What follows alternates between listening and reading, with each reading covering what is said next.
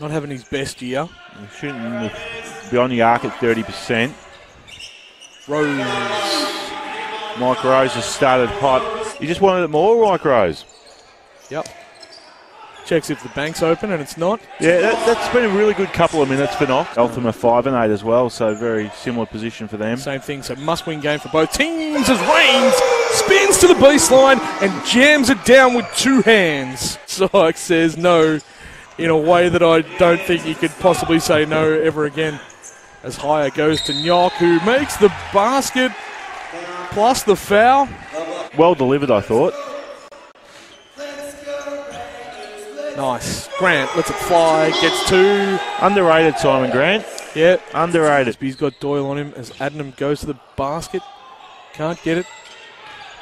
Grant does a great job of saving the ball. he did, didn't he? Yeah. He actually took his time. Rose attacks the on ball. High. Raines. Yeah, little baby hook in the lane. It's down. Two dribbles. wheeling.